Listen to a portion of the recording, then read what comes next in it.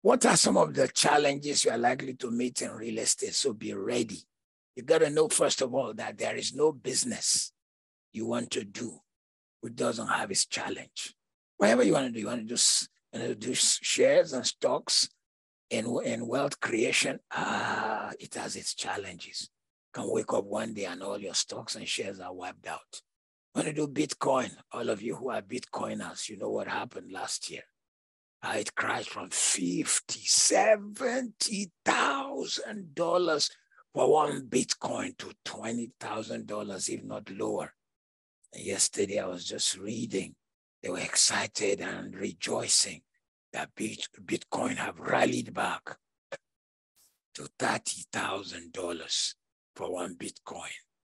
That invisible thing, invisible money you own, you don't know where it is. It is just a collection of numbers on a computer somewhere. Please pray for me. I still am not a Bitcoiner. I like to see where the money began, and I like to see where it is going. It could even be invisible, but it has a degree of tangibility because it is tied to an economy. When I say dollar, I know it is tied to America. When I say sterling, it is tied to Britain. And when I say euro, it is tied to all the collection of European nations. But when you say Bitcoin, they say one Mr. Nagasaki or Wagasaki or whatever his name is, created this currency. It is somewhere in the nebulous place. So I take all my life's income and put in some nebulous place. You can just tell that. I think I may have invested $2,000 in one of those coins so that I'm not left out. So you people don't laugh at me the day it makes money. But if it doesn't, I'm not taking too much risk. Give me real estate any day and in a city where things work, not every city. Some real estate are the, they are slower than a, a turtle. All right, what are the challenges to expect? Number one, market fluctuations. Market fluctuations. The real estate market can be volatile with prices and demand changing rapidly all the things that can bear upon real estate. I've mentioned some of them. Uh, demography, people's movement, democracy, people's government, all kinds of things can bear on real estate. Market fluctuations can either increase or decrease the level of real estate demand or capacity or ability to sell. But one thing is very clear, even if there is a low market, there is also a rising later. Investors must be able to adapt to these changes and stay on top of market trends. Number two challenge, this is big one, is financing. Obtaining financing for real estate investment can be difficult, especially for new investors. And it also depends on the nation. Oh my geez. Some nations will say, can they pull your teeth without anesthesis before they will loan you money? Everywhere, the United Kingdom, I mean, the whole of the West will expect that you come with five to 10% of the money you want to borrow. I think it's still 10%. It is fair to be, to be honest it is fair for them to ask you to have 10% because anything you have no risk in, then you are ready to walk away from it because all you want is the juice, is what you get out of it. So obtaining financing for real estate investment can be difficult because the bank also has to be convinced that their money will not be lost. Lenders may require large down payments, particularly if it's commercial industrial. Commercial and industrial will ask for 30%, 40%. So is religious building, 40%, 30%. They will look for your credit scores. What do credit scores do? They show them and guarantee them that you borrowed before, but you paid.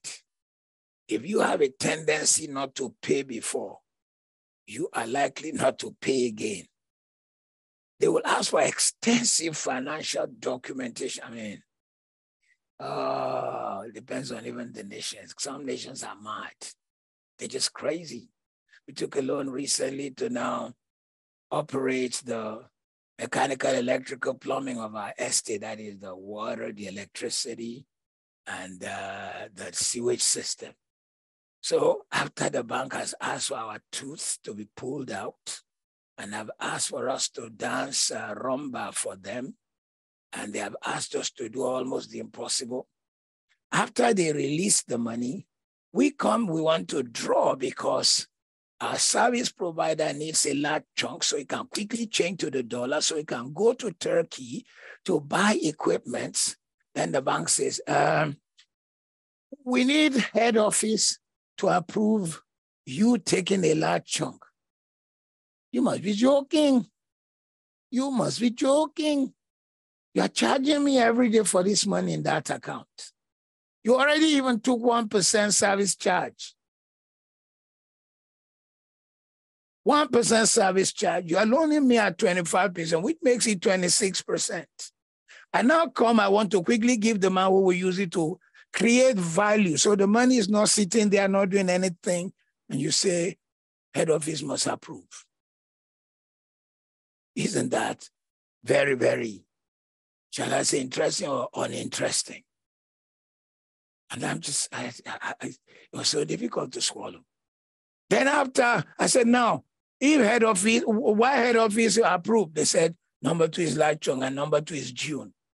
Oh, you knew it's June and you gave me loan in June. Why June? They said, because we're going to do half a year credit report and we want to show profit from our own region. Banks are, I'm almost tempted to see when you see the devil and banks, you should kill the bank and not kill the devil first. Number three challenge is property management. Real estate investment require ongoing maintenance and management. Jeez. That's why every coffin, everything you require tenants to know must be in the contract. Everything. You can't do this. You can't drag that. You can't, you can't put nails in my wall. The day you put nails when you are going, you have to make good the wall. You have to put deposit down against damages, this, that. You know, when you see those things, sometimes you react until you are a real estate investor yourself. Some tenants, I don't know where they came from. I do not know where they came from. They just seem as if they came to destroy you. So your tenancy law needs to be so strong, so tight, so powerful. Some Chinese guys rented an apartment, which we used to own somewhere in Kent, in Essex. These guys were using the wall of the apartment to grow, to grow weed. To grow weed. It was just, thank God that somebody again tipped off the police before the police came. They themselves had had it were tipped up, declared everything, and left. It is you, the owner, that the police will ask for not the tenant, unless it is in your tenancy laws that they cannot carry out anything illegal. In selling land in Africa, we had to put clauses in the contract that the person must say, I am aware that the money I'm using to buy this land was not gotten through money laundering or through any illegal source. That's just one of your protection. Then the same country requires you to have this certificate that says you have registered with the anti-monetary uh, money laundering uh, commission that you watch anybody who's buying from you. Jeez, man. Investors must be willing to take on the responsibility of property management or hire a professional property management company because every day there is a story. We own a building that is seven floors and has 29 suites. And we're occupying 26 out of the 20, we're occupying three out of the 29 suites. They've rented out 26. Imagine if you had 26 tenants and they're all sorts. it is better for somebody to have been managing it for us. Number four challenge is the tenant management itself. If investing in rental properties, investors must be prepared to deal with tenant issues such as rent collection, repairs, evictions, because even rent collection, you did not make very clear in the contract that if they don't pay your rent, they can be thrown out within a certain time. You'll be amazed. You'll be amazed. Almost every nation on the earth, tenancy law tends to favor the tenant than you, the owner of the house. For some reason, our laws are written to back victims, and some people make themselves deliberate victims to take advantage of you. And you can't take a paper. Please, please, please, members of the uh, Wealth Master class, don't take a paper and just write, I'm ejecting you from my house. That paper can make that tenant get a lawyer, sue you, stay in your house one year, no rent before you now start the process of ejecting. And it could take another six months. Wealth creation requires some risk. It's better to take risk and create the wealth than not to take risk and stay broke. If investing in rental properties, investors must be prepared to deal with tenant issues, rent collections, repairs, eviction, Every day something may happen. Number five, challenge legal issues. Real estate investing involves complex legal issues, such as zoning regulations. So before you buy, you need to know what is the zoning for. You need to get to know that definitely there will be a change. And even if they promise you that there will be a change, the sellers of the land, there must be a clause that says your money will be fully refunded if the change they anticipated did not take place within A, B, C, D. There may be other challenges like property taxes, landlord tenant laws. You need to look at that carefully. Carefully. You can't, like I said again, you can't just eject. And there are some tenants, they just know what to do to propagate their stay. Investors must be knowledgeable about these issues or hire a competent attorney. Not every lawyer knows about land law, about tenancy law. They read every part of law that specialize in one area. Get the one who knows it well. Particularly if you are going to be staying in the area of wealth creation through property. You need to have a lawyer who knows his onions regarding land law and company law. Next challenge is competition.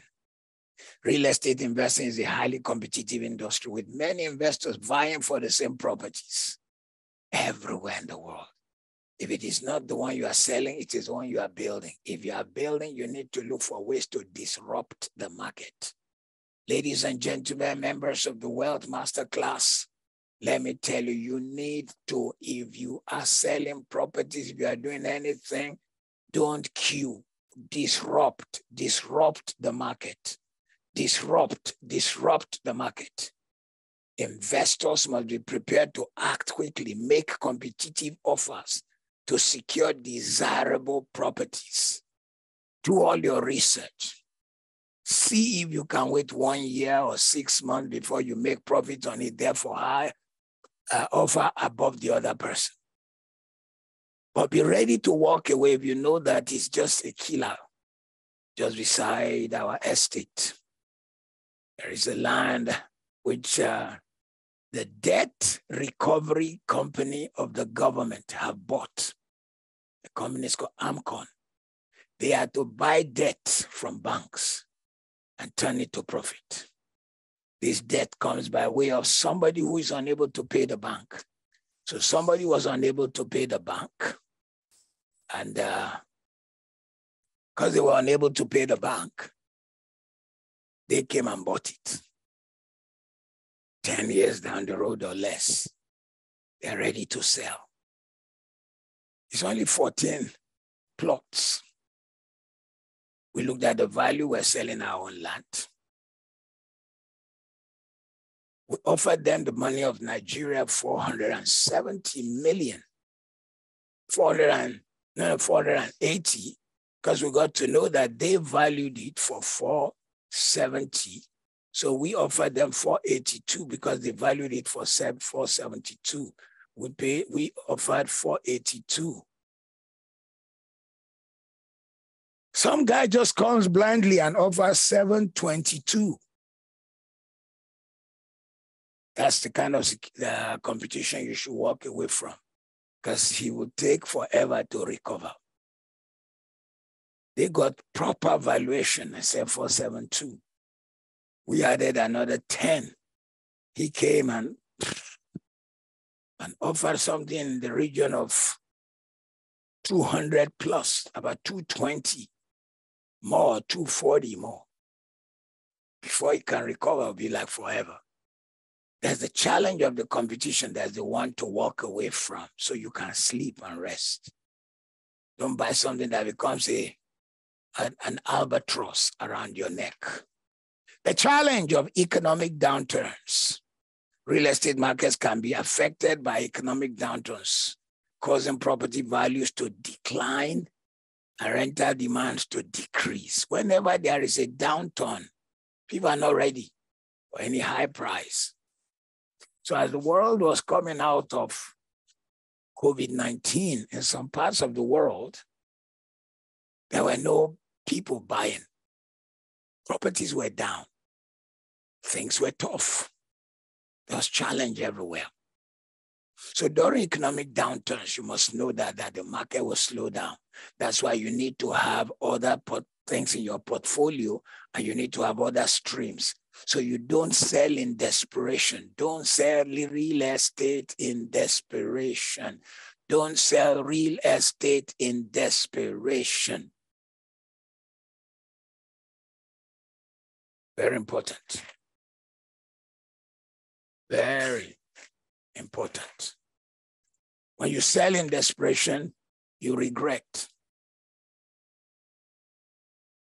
Investors must be prepared to weather those downturns and have a long term investment strategy. Have ways to hold on until the value changes, until there is an increase.